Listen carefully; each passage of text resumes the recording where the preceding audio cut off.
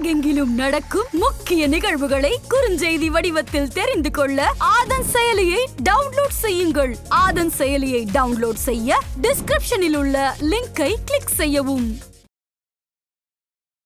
So நீங்கள் பார்த்த அதிசய மூலிகை அப்படின்னா எந்த எந்த மூலிகையை சொல்வீங்க?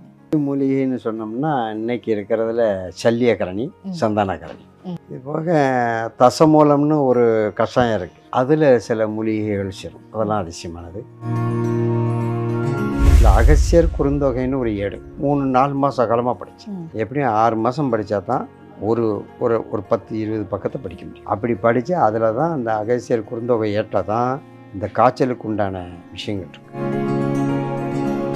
ஸோ இந்த திதியில தான் சாப்பிடணும் அப்படிங்கிறதுக்கான காரணம் என்ன? அது மாதிரி அந்த திதியில் கொடுத்த அந்த மருந்தினுடைய வீரியங்கள் ஜாஸ்தியாக இருக்கும் அவனுடைய நட்சத்திர பாணிக்கு அது உகந்த இந்த காலத்துல இருந்த ஒரு அரிய வகை மூலிகை இப்போ நம்ம நாட்டுல வந்து கிடையாது அப்படின்னு ஏதாவது மூலிகை சொல்ல முடியுமா? பிரம்மியில் கரும்பிரமின்னு உண்டு. ம். இந்த பிரம்மி இப்போ இல்லை. சாரணையில் மஞ்சள் சாரணைன்னு உண்டு. அது இல்லை. ஆன்மீகம் நேர்களுக்கு வணக்கம். நான் உங்கள் விஜய் பிரியா. ஆன்மீகம் தொடர்பான சந்தேகங்களுக்கு நம்ம ஒவ்வொரு நாளும் தீர்வு கொடுத்துட்டு இருக்கோம். புதிய முக்கிய நிகழ்வுகளை உடனடியாக தெரிஞ்சுக்கணும் அப்படின்னு நினச்சிங்கன்னா ஆதன் செயலியை டவுன்லோட் பண்ணுங்கள் அதற்கான லிங்க் வீடியோக்கு கீழே டிஸ்கிரிப்ஷனில் கொடுத்துருக்கோம். தொடர்ந்து குலதெய்வத்தை பற்றின நிறைய விஷயங்கள் நமக்காக கொடுத்துருக்கவ தான் முனைவர் தென்காசி ஈஸ்வரன் ஐயா அவர்கள். இந்தியா மட்டும் இல்லாமல் வெளிநாட்டில் இருக்கிறவங்களுக்கும் குலதெய்வத்தினுடைய அருள் கிடைக்கணும் அப்படிங்கிறதுக்காக நிறைய விஷயங்கள் சொல்லிக்கிட்டு இருக்காங்க. ஸோ அவர்கிட்ட தான் இப்போ நம்ம பேச போகிறோம் முதல்ல அவரை வரவேற்றலாம். வணக்கம். வணக்கம். பொதுவாக நம்ம குலதெய்வத்தை பற்றி நிறைய விஷயங்கள் பேசிகிட்டு இருக்கோம் அதே மாதிரி தொடர்ந்து வந்து மூலிகை பற்றியும் நிறைய விஷயங்கள் எங்களுக்காக சொல்லிட்டு இருக்கீங்க ஸோ நீங்கள் பார்த்த அதிசய மூலிகை அப்படின்னா எந்த எந்த மூலிகையை சொல்வீங்க? அதிசய மூலிகைன்னு சொன்னோம்னா இன்னைக்கு இருக்கிறதுல சல்லியக்கரணி. சந்தானக்கரணி. போன எபிசோடில் ஒரு விஷயத்தில் சொன்னோம் இல்லையா? அதுதான். சாய்ந்தாடும் பாவை. இதெல்லாம் ரொம்ப அதிசயமான மூலிகை. ஆ. இது போக தசமூலம்னு ஒரு கஷாயம் இருக்கு. ம். அதில் சில மூலிகைகள் சேரும் அதெல்லாம் அதிசயமானது. மதிமயக்கின்னு ஒரு மூலிகை. ஓகே. ஸோ பேர் கேட்கும் போதே வந்து மதிமயக்கி. மயக்கி. அந்த அதில் முள் இருக்கும். அந்த முள்ளில் காலை வச்சுட்டாங்கன்னா அவனை அந்த இடத்த விட்டு அவன் வெளியே வரவே முடியாது. அந்த செடியை சுற்றியே தான் வந்துகிட்டு இருப்பான். அப்போ ஒன்று மழை பெய்யணும் இல்லை அவன் மேலே தண்ணியை கொறி விடணும். ஓகே. அப்போ தான் அவன் அந்த நிலையிலேருந்து வெளியே வர முடியும். எதனால தண்ணி அவன் அந்த மதி மூளையை மயக்கிறோம். அதுக்கு பேரே மதி. மதி என்றால் மூளை மூளையை மயக்கக்கூடியது. அந்த மூளையை மயங்கடிச்சிடும் வேற எந்த சிந்தனையும் இருக்காது. சாப்பிடணும்னு தோணாது. அதில் அனுபவப்பட்டிருக்கிறேன். ம். நான் என் யோகம் என்னென்னா அந்த நேரத்தில் மழை சரி. அதை வச்சு தான் அந்த நிலவும்பு கஷாயத்தை நான் வெளிக்கொணர்ந்தேன். எல்லா பக்கமும் காய்ச்சல் வந்து இறந்துக்கிட்டு இருக்கிறாங்க. காய்ச்சல் வந்து இறந்துட்டு இருக்கும்போது அகசியர் குறுந்தொகை எப்போவுமே நான் அந்த ஏடுகளை பழைய புக்குகளை படிச்சுக்கிட்டு இருந்தேன். அதில் அகசியர் குறுந்தொகைன்னு ஒரு ஏடு.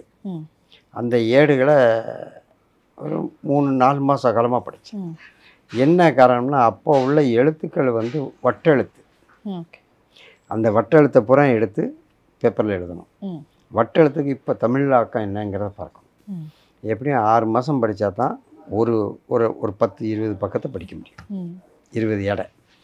அப்படி படித்து அதில் தான் அந்த அகசியர் குறுந்தொகை ஏற்ற தான் இந்த காய்ச்சலுக்கு உண்டான விஷயங்கள் இருக்குது ஓகே. இந்த காய்ச்சல் எப்படி வருதுன்னா சர்ப்பகாண்டம்னு ஒரு ஏடு. அந்த ஏட்டில் சில விஷ சம்பந்தப்பட்ட சுரங்கள் எப்படி உருவாக்குது? எதுக்காக இந்த காய்ச்சலை உருவாக்குறாங்கங்கிறது அதுலேயே போட்டுட்டாங்க. எதிரி படைகளை அழிக்கிறதுக்கு அந்த இதை உருவாக்குறான். அதை அழிக்கைக்கு உருவாக்குதான். அதுக்கப்புறம் நம்ம படைகளை பாதுகாக்கிறது எப்படின்னா அதையும் அதில் போட்டுட்டான். அதே விஷயந்தான் இந்த ஏற்ற உள்ளதை பார்த்துட்டு இந்த காய்ச்சலுக்கு உண்டான மருந்துகள் என்னங்கிறத பார்த்தேன் அகசியர் குறுந்தொகை ஏட்டில் இருக்குது நிலவம்பு கஷாயம். அதை பப்ளிசிட்டி பண்ணி அடியன் தான் பப்ளிசிட்டி பண்ணேன். பண்ணி நான் எங்கள் பகுதியிலலாம் கொடுத்துக்கிட்டு இருந்தோம் அதுக்கப்புறம் அந்த பழைய சீஃப் மினிஸ்டர் ஜெயலலிதாவுக்கு கொடுத்தோடனே அவங்க மருத்துவத்துறையில் கூப்பிட்டு கேட்டு விசாரித்து அவங்க எல்லா பக்கம் இதை கொடுங்கன்னு சொன்னாங்க. ஓகே. அப்படி நிறைய மூலிகைகள் இருக்குது. சாய்ந்தாடும்பாவை இருக்குது. ஷாயா விருஷம் இருக்குது ஷாயா விருஷம் நம்ம ஹைகோர்ட்டு வளாகத்திலே நிற்கி சென்னை ஹைகோர்ட் வளாகத்திலே நிற்கி ரோம விருஷம் அதுபோக ஜோதி ரூபம்னு ஒரு மரம். அந்த ஜோதி மரத்தில் வந்து என்னன்னு கேட்டேன்ல அந்த மரத்து ஒரு கிளையை ஒடிச்சு தண்ணிக்குள்ளே போட்டோம்னா அதுலேருந்து ரேடியம் மாதிரி தெரியும். ஓகே. அதில் ரேடியம் ஃபார்ம் ஆகுது. அந்த மரத்தை மரத்துல. மழை பெய்யும் போது அந்த மரத்தில் ஜோதி மாதிரி மின்னும். அந்த மரம். இதெல்லாம் இயற்கையானது ஓகே. ஸோ இப்பவும் இருக்கா இந்த இருக்கு. மரங்கள்லாம் இருக்கு இருக்கு. ஆனால் எந்த இடத்துல இருக்குன்னு கேட்டுறாதீங்க. ம். அது ரகசியமா இருக்கு. ரகசியமாக ரகசியம் ரகசியமாக இருக்கிற வரைக்கும் நாடு நல்லா இருக்கும் ம். இப்போ நிறைய பேர் நான் சித்த மார்க்கத்தில் போகிறேன் சித்த மார்க்கத்தில் போகிறேன் அப்படின்னு சொல்லிட்டு காட்டுக்குள்ளே போய் அதை கொண்டாந்து அதை பார்க்குற வரைக்கும் அவன் சித்த மார்க்கமாக இருக்கான். பார்த்துட்டோம்னா கொண்டாந்து. கமர்ஷியலாக உன்னை கூட்டு போகிறேன் இப்போ அகசியர் கோயில் பாருங்க நான் பெரிய சித்தம் தான் மேலே அகசியர் மலைக்கு. கூட்டு போகிறதுக்கு ஒரு ஆளுக்கு இருபதாயிரரூவா முப்பதாயிரரூவா வாங்க முதல்ல ஆன்மீகத்தில் தான் போகிறான் பலபடி அது கமர்ஷியல் ஆயிடும் அந்த மாதிரி இந்த வித்தியாசமான மரங்கள் செடி கொடிகளை கண்டாச்சுன்னா நிறைய பேர் அப்படி வந்தாங்க. ஓகே ஸோ அதே மாதிரி நீங்கள் வந்து குலதெய்வத்தை கண்டுபிடிச்சு கொடுக்கறதும் சரி ஒரு நோய்க்கு வந்து மருந்தா மூலிகைகளும் வந்து கொடுத்துட்ருக்கீங்க. அதில் முக்கியமாக வந்து இந்த நேரம் இந்த நாளில் தான் வந்து சாப்பிடணும் அப்படின்னும் சொல்கிறீங்க ஸோ இந்த திதியில தான் சாப்பிடணும் அப்படிங்கிறதுக்கான காரணம் என்ன? இப்போ நம்ம வயிறு உடம்புக்கு தேவையான சக்தி நமக்கு தேவைப்படுது. அப்போ வயிறு பசிக்கிறது நம்ம சாப்பிடுதோம். அது மாதிரி அந்த திதியில் கொடுத்து அந்த மருந்தினுடைய வீரியங்கள் ஜாஸ்தியாக இருக்கும். அது உடம்புக்கு ஏற்றுக்கொள்ளக்கூடிய ஒரு திதியாக இருக்கும். அவனுடைய நட்சத்திர பாணிக்கு அது உகந்த திதியாக இருக்கும் பொதுவாக மருந்து உண்ண நாள் வந்து செவ்வாய்க்கிழமை ஞாயிற்றுக்கிழமை.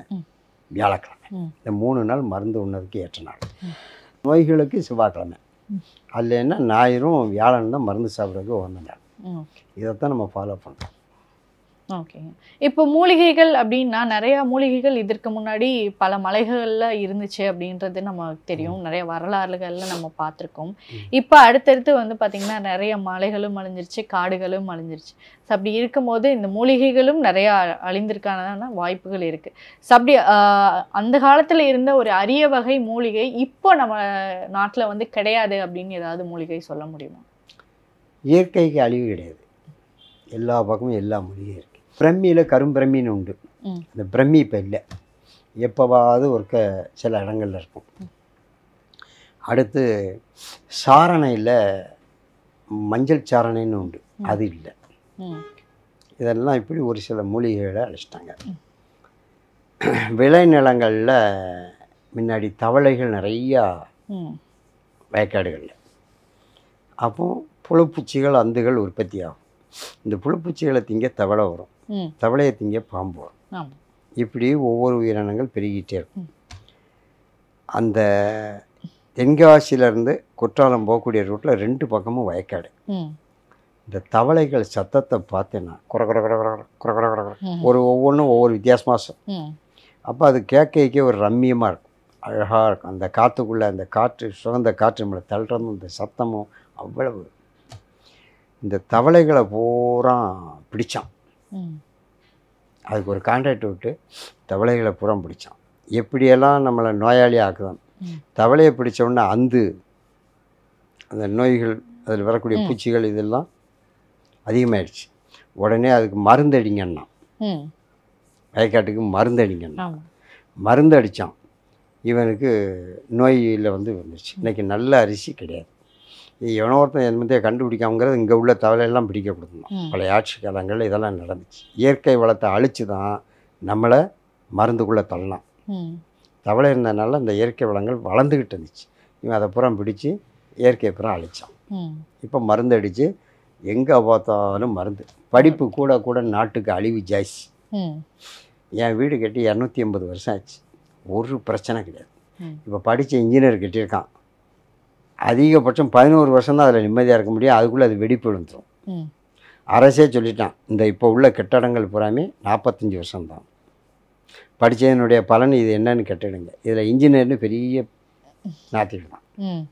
காங்கிரீட் கட்டடம் மூணு மாடி நாலு மாடி கட்டடம் நாற்பத்தஞ்சு வருஷத்தில் பண்ணிடலாம் இப்ப நிறைய பில்டிங் கட்டின உடனே அடுத்த நாள் இடிஞ்சு விழுறதுக்கான கெட்டி அவர் திறப்புல வர்றதுக்குள்ளே இங்கே எல்லாம் கட்டடங்கள்லாம் போயிடுது அது ஒரு பக்கம்.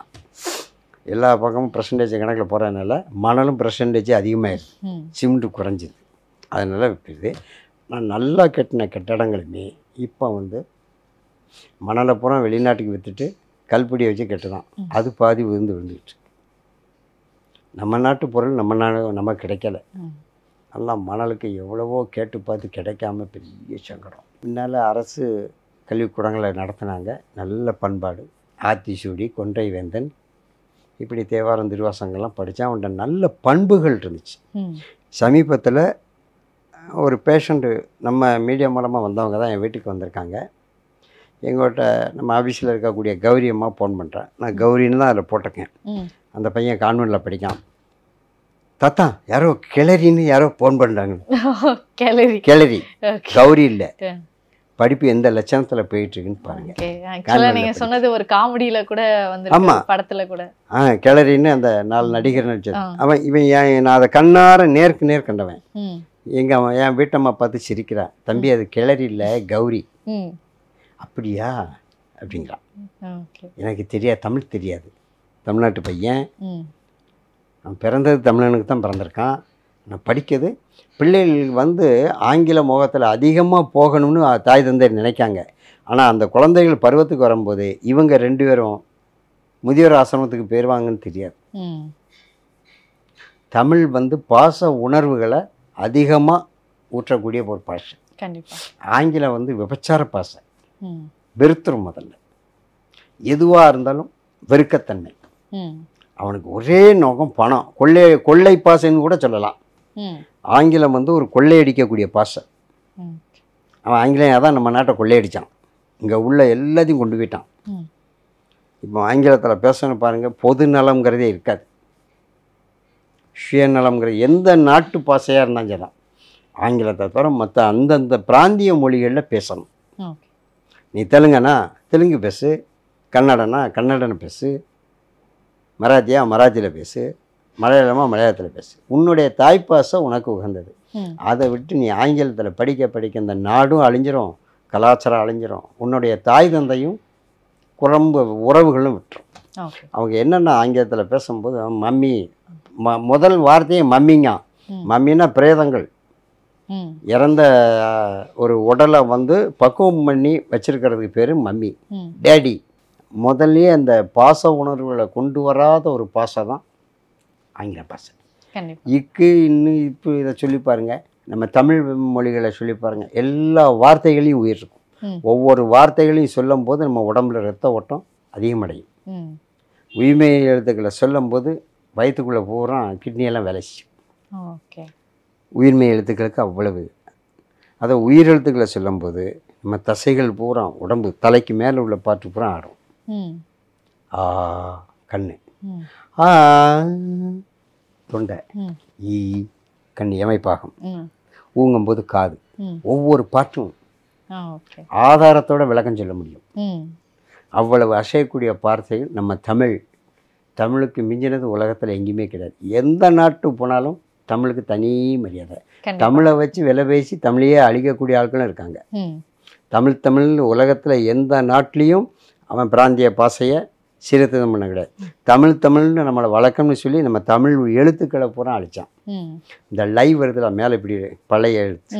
இந்த எழுதிட்டு இருக்கும்போது இப்படி லை போட்டால் ஒரு பதினெட்டு எழுத்துக்கு ஒருக்க ஒரு லை ஒரு நை ஏதாவது வந்துடும் வாக்கியங்கள் அப்படி தான் இருக்குது. அப்படி வரும்போது இந்த எழுத்து இப்படி பேனாட்டு இப்படி மேலே சுழிச்சு எழுதும்போது மூளைக்கு ரத்த ஓட்டம் அதிகமாக போகும். இவன் புத்திசாலியாக இருக்கானே இவனை அழிச்சிடணும்னு சொல்லி அந்த எழுத்துக்களை பூரா அழிச்சிட்டாங்க. அந்த நை மேலே போடக்கூடிய லை. ஒவ்வொன்றையும் யோசனை பண்ணி யோசனை பண்ணி கொஞ்சம் கொஞ்சமாக தமிழனை அழித்து கலாச்சாரங்களை அழிச்சு ஆத்திசூடி அறம் செய்ய விரும்பு. இது பிற மதத்தை சார்ந்தவங்க படிக்காங்க. அதனால் இது ஒரு மத சம்மந்தமாக இருக்குன்னு சொல்லி. அறம் செய்ய விரும்புங்கிறது அப்போ அவன் மதத்தில் கிடையாதா? அறம்னா தொண்டு செய்ய விரும்புங்கிறது கிறிஸ்தவத்தையும் இஸ்லாமியத்தையும் கிடையாதா? அப்துல் கலாம் எப்படி தொண்டு தானே பண்ணிட்டு இருந்தார்? கண்டிப்பா. தெரசா தொண்டை தான் தொண்டு தானே பண்ணிட்டு இருந்தா? அவங்க அந்த மதத்துக்காரங்க யாருமே சொல்லலை. அவங்கள்ட்ட இருந்து நம்மளை பிரிக்கிறதுக்காக இந்த பாடத்திட்டங்களை அழிச்சான் ம். இப்படி தான் நம்மளை கெடுத்துக்கிட்டு இருக்காங்களே ஒழிய. கருங்காலி மரங்கள் வந்து அதிகமாக பயன்படுத்த ஆரம்பிச்சிட்டாங்க. மாலையாவோ இல்லை பிரேஸ்லெட்டாவோ வந்து உபயோகப்படுத்த ஆரம்பிச்சிட்டாங்க. ஆனால் அந்த காலத்தில் வந்து பார்த்திங்கன்னா வீட்டில் உலக்கை மற்றும் இந்த குழந்தைகளுக்கு மரப்பாசி பொம்மை அப்படிங்கிறது தான் கருங்காலி வந்து அதிகமாக யூஸ் பண்ணிகிட்டு இருந்தாங்க. அது இப்போ வந்து இந்த திஷ்டி நீக்கிறதுக்காகவும் பாசிட்டிவ் எனர்ஜி கொடுக்கறதுக்காகவும் அதிகமாக பயன்படுத்துகிறாங்க உண்மையாகவே கருங்காலி மரம் அப்படிங்கிறது திஷ்டியை நீக்கிறதுக்கும் பாசிட்டிவ் கொடுக்கறதுக்கும் பயன்படுத்துகிறது தானா மரங்களில் வேங்கை ஒன்று கருங்காலி. இது ரெண்டுமே துன்மார்க்கமான சக்திகளை விளக்கக்கூடியது. கருங்காலி வ- வேங்கை வந்து ஆச்சாரத்தோடு சேர்ந்தது. கருங்காலி வந்து காளிய மாதிரி எதுக்குனாலும் உபயோகப்படும். இந்த கருங்காலி உலக்கை வந்து ஒரே அளவில் உள்ள உலக்கை வந்து கணம் ஜாஸ்தி. மாவு இடிக்கவோ வைக்கவோ அப்படி குத்தும் போது ரொம்ப குயிக்காக புவியீர்ப்பு விஷயம் அதில் ஜாஸ்தியாக இருக்கும் கருங்காலி உலக்கையில். மற்ற உலக்கைகள் அந்த மாதிரி கிடையாது. இந்த கருங்காலி உலக்கையை வச்சு வீட்டில் ஒரு பெண்கள் ருதுவாயாச்சுன்னா. வீட்டுக்கு விளக்கமாக இருந்தால் பின்வாசலில் உட்கார வச்சு இந்த உலக்கையை போட்டுருவாங்க. எதுக்காக அந்த உலக்கையை போடுறாங்கன்னா இப்போ இப்போ எத்தனை ஆண்டுகள் ஆனாலும் சரி பழைய விஷயங்கள் பழசு தான் அந்த ஒரு பெண் ருதுவானால் அவங்கள சுற்றி ஒரு முப்பத்தஞ்சு அடி சுற்றளவுக்கு அந்த கிருமிகளின் ஆக்ரோஷம் இருக்கும். இதை நம்ம கலாச்சார பண்பாட்டில் வரதை விட வெளிநாட்டில் இருக்கக்கூடிய ஒரு சயின்டிஸ்ட் சொல்லியிருக்காங்க. முப்பத்தஞ்சு அடி தூரத்துக்கு ஒரு கர்ப்பப்பையிலிருந்து வரக்கூடிய ரத்தம் பாதிப்புகளை மனிதர்களை பாதிப்புக்குள்ளாக்கிறது. குழந்தைகளை அந்த நேரத்தில் அந்த பெண்கள் தூக்குனா அவங்களுக்கு அந்த கண்ணில் புலசாடி. கண் ஒரு சம்மந்தப்பட்ட ஒரு நோய்கள் உருவாகும். சாப்பிட சீர்தட்டிடும். அந்த சீர்தட்டை கூட சீர்தட்டு பச்சலைன்னு ஒரு பச்சலை இருக்குது அந்த பச்சலை எடுத்து தேய்ச்சி குளிப்பாட்டினாலே போதும். அதுக்கு உடனே பெண்கள் அந்த குழந்தைய ஆசிரித்திருப்பாங்க இந்த கலாச்சார விஷயங்கள்ல அந்த வயதானவர்களை விட்டு வீட்டை விட்டு வெளியேற்றுனதுனால வரக்கூடியது. தானே இருக்கும் தான் கணவன் மட்டும் இருக்கணும் பிள்ளைகள் இருக்கணும். வேற ஒரு உறவுக்கு ஒரு பேச்சுவார்த்தைக்கு நம்ம முன்னோரில் உள்ள விஷயங்களை சொல்கிறதுக்கு. அந்த முதியோர்களை உள்ளே வாழ விடுறது. காரணம் கல்வி. கல்வியில் வந்து மக்களுக்கு ஒரு நல்ல பண்பாடுகளை சொல்லிக் கொடுக்கக்கூடிய அளவுக்கு இப்போ உள்ள கல்விக்கூடங்கள் இல்லை. குருகுல கல்விக்கூடங்கள் ஒன்று ரெண்டு தான் இருக்குது. அந்த காலத்தில் கல்விக்கூடங்கள் பூரா நால்வர் பேரில் தான் இருந்துச்சு. அப்பர் சுந்தரர் மாணிக்கவாசர் ம். அந்த நேரத்தில் கலாச்சாரங்கள் ரொம்ப அழகாக இருந்துச்சு. கல்வியும் நல்ல அதில் படித்தவங்க தான் பெரிய பெரிய மாமேதைகளாக இருந்தாங்க. ம். இன்னைக்கு பெரிய பெரிய ஸ்கூலுங்க கான்வெண்ட்டுங்க பேண்ட் போட தான் டை கட்டு தான் போகிறான் வாரான். ஆனால் பண்பாடுகள் அதான் கிளறின்னு வாசிக்கக்கூடிய அளவுக்கு ம். இன்னைய கல்வி இருக்குது இந்த கிளறி கௌரி இந்த மாதிரி வார்த்தைகள் தொடர் வார்த்தைகள்லாம் இப்போ உள்ள பையங்களுக்கு தமிழே தெரியாது. அவன் சொல்லுவான் அந்த பையன் என் வீட்டுக்கு வந்த ஒரு பையன் சொல்லுவான் எனக்கு தமிழ் தெரியாது அங்கள். எனக்கு அது வாசிக்க தெரியாது. நீங்கள் இங்கிலீஷில் கொடுங்க என்ன வேணால் வாசிப்பேன். ம். அப்போ உன் பிறப்பவே நீ மாற்றிருதிய ம். இங்கிலீஷில் கொடுங்க வாசிப்போம்னா உன்னுடைய தாய் மதம் தாய் பாசை எல்லாத்தையுமே நீ மாற்றிடு தாய்மொழி எல்லாத்தையும் மாற்றிருதிய தாய் தகப்பனையும் மாற்றிருதிய ம். அதனுடைய பொருள் அதானே? கண்டிப்பா. கலாச்சாரங்களை நம்ம நீ என்னத்தை ஆங்கிலத்தை படித்தாலும் ஆங்கில அறிவை வந்து அந்த ஸ்கூலோட நிப்பாட்டிக்க. வீட்டில் வந்து அந்த பிள்ளைங்களுக்கு தமிழை கற்றுக் கொடுங்க. அப்போ தான் அந்த குழந்தையுடைய வாழ்க்கை நல்லாயிருக்கும் நீங்களும் கடைசி காலத்தில் அவன் கூட இருந்து வாழ முடியும். இல்லைன்னா உங்களை அடித்து வெளியே ஊற்றிட்டு அவன் மட்டும்தான் இருப்பான். அவனுக்கு வர பிள்ளைலாம் அதைத்தான் முடியும் ம் தமிழை அழிக்க அழிக்க நம்ம கலாச்சாரம் அழியும். தமிழர்கள் பூரா ரொம்ப பெறுவோம் ஓகே கண்டிப்பா. ஸோ நிறைய விஷயங்கள் இந்த ஒரு நேர்காணலில் கொடுத்துருந்தீங்க. அது மட்டும் இல்லாமல் அரிய வகையான மூலிகைகளும் நிறையா சொல்லியிருந்தீங்க. ஸோ இந்த நடைமுறை வாழ்க்கையில் மூலிகைகள் எந்த அளவுக்கு பயன்பாடு இருக்குது அப்படிங்கிறதையும் இம்பார்ட்டன்ஸ் சொல்லியிருந்தீங்க. இந்த ஒரு நேர்காணல் எங்களுக்காக பயனுள்ள தகவல்கள் கொடுத்ததற்கு மிக்க நன்றி. தென்காசி ஈஸ்வரன் சுவாமிகள் ஐயாவிடம் குலதெய்வம் மற்றும் ஆன்மீக ஆலோசனை பெற விரும்பினால் முன்பதிவிற்கு nine seven five double one nine six three eight three என்ற எண்ணிற்கு வாட்ஸ்அப்பில் உங்கள் பெயர் தற்போது நீங்கள் வசிக்கும் இடம் ஆகியவற்றை அனுப்பவும். உங்களுக்கு வாட்ஸ்அப் மூலமே தகவல் அனுப்பப்படும்.